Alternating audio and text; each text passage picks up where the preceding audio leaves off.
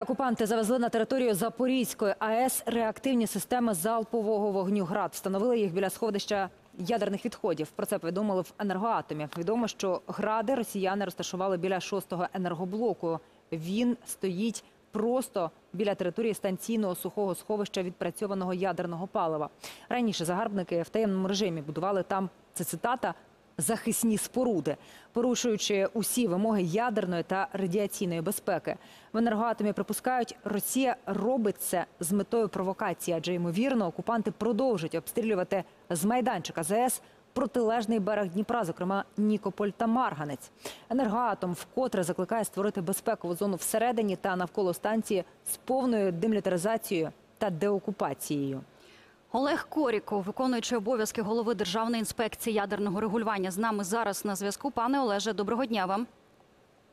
Вітаю вас, слава Україні! Героям слава. Героям слава. Пане Олеже, поясніть нам, чим може обернутися для України та й в цілому для Європи розміщення градів на ЗАЕС? Чи є ризик чергової катастрофи? Чи наважиться на це Росія? І на що саме?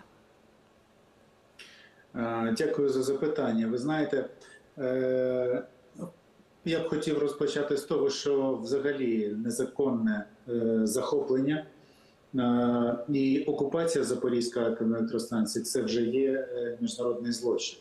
Почалось все, з обстріла е, Запорізької атомної електростанції з важкої зброї. Це є також міжнародний злочин.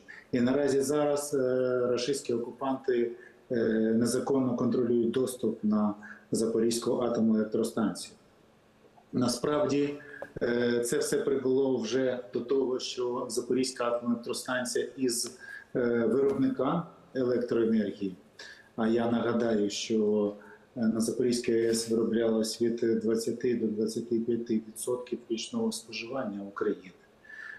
Фактично перетворилась в споживача електрики, оскільки всі шість енергоблоків АЕС знаходяться в зупиненому стані.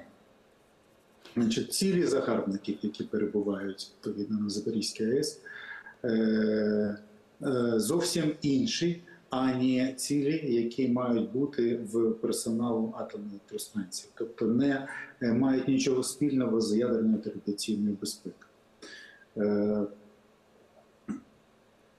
Відбувається, як ви вже сказали, втручання в безпосередню роботу Запорізької атомної електростанції і в її е, проєктний стан. Тобто відбуваються незаконні, як ми кажемо, е, модифікації е, ядерної установки.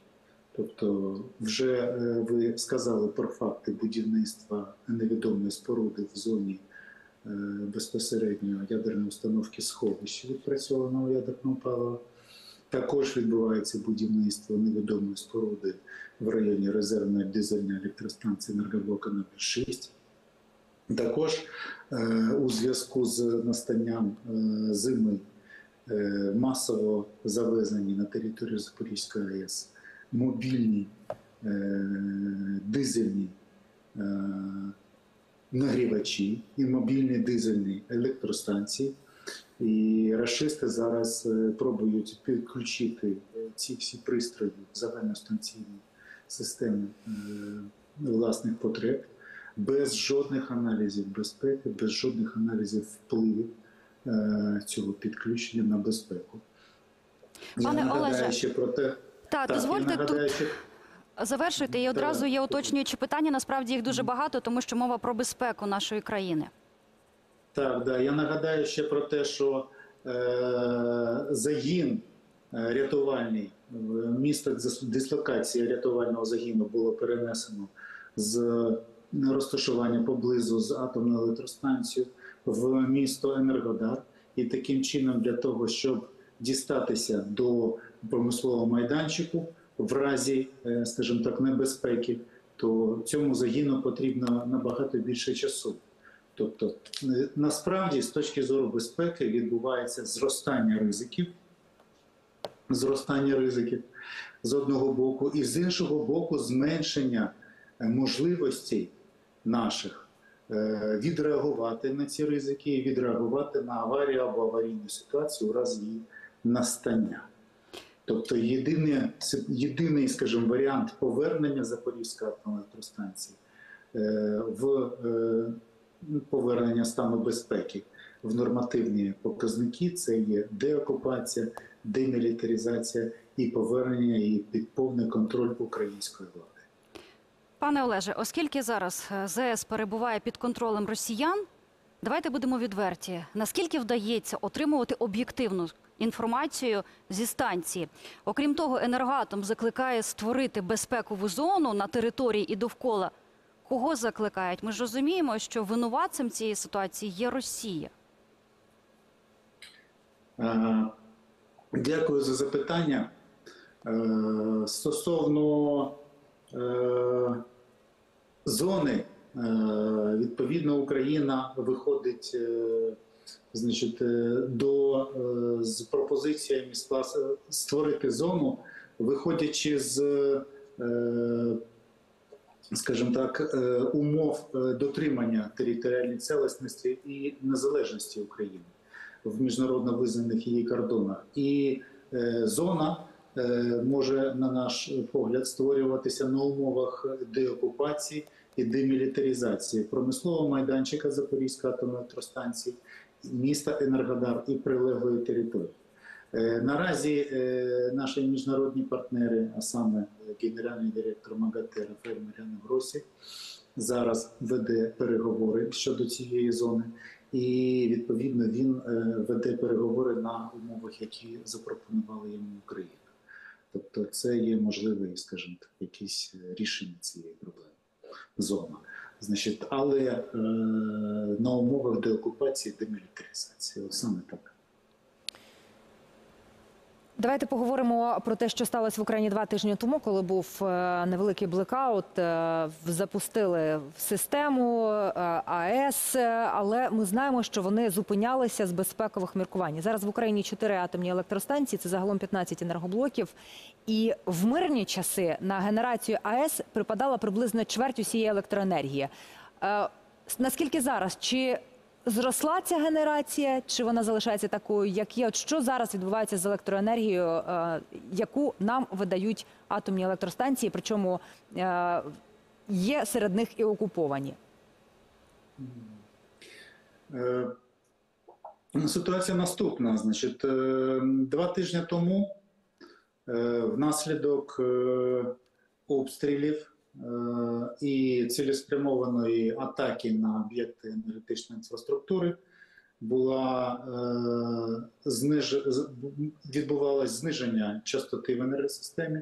І за фактом зниження частоти е, аварійно відключилися е, всі на той час працюючі вісім ядерних енергоблоків атомних, атомних електростанцій України. Порушень меж безпечної експлуатації не відбулось. Е, Споживання, електричне споживання наших енергоблоків було переведено від е, власних резервних дизельних електростанцій. І відповідно е, в міру, в міру відновлення роботи енергетичної системи України, робота енергоблоків атомних електростанцій була поновлена і на сьогодні е, повністю відновлена. В нас працюють 8 з 9 наявних на підконтрольній Україні території атомних енергоблоків. Значить, е, слід зазначити також, що будь-яка робота аварійного захисту атомного енергоблоку це є е, потенційно вихідна подія для аварійної ситуації або для аварії. І відповідно це розглядається в рамках е, звітів з аналізу безпеки кожного енергоблока. Внаслідок перехідних процесів, які проходять в, на енергоблоки в рамках їх е, аварійного зупинення, е, відповідно е, відбувається, скажімо так, можливість, можливість відмов обладнання е, в своїй роботі зростає, а також е, зростає вірогідність помилок персоналу. От разом з тим, наші енергоблоки достатньо стійкі, а персонал має високу кваліфікацію, регулярно проводяться протиаварійні тренування. Таким чином, е, е, з нашої точки зору, зупинка енергоблоків, яка відбулася два тижні тому, не має суттєво вплинути на стан безпеки діючих атомних електростанцій. Е, З точки зору вашого також запитання, я б хотів би вас трошки виправити, що атомні електростанції в нас виробляють не 25%, як ви сказали, а 50 і більше відсотків електрики. От. І наразі зараз е, так само е, споживання зменшилось, і відповідно діючі енергоблоки покривають близько половини всього електроспоживання. Таким чином, вплив атомної енергетики на стан е, енергосистеми наразі досить високий. Пане Олеже, ситуація з світлом та в країні зараз е, дуже непроста, і ми це розуміємо. Держава зараз шукає якісь альтернативні шляхи для того, щоб забезпечити споживачів електроенергією, наскільки це можливо. І що зараз розглядається як варіант? Це побудова модульних реакторів. Якщо простою мовою, то це такі міні-станції, атомні станції, які зможуть генерувати електроенергію для регіонів. І тут питання: Україна насправді зможе стати першопрохідцем в цій справі. Наскільки це небезпечно? Що для цього потрібно? Чи готові ми до побудови таких станцій? Розкажіть нам більше. Дякую за запитання.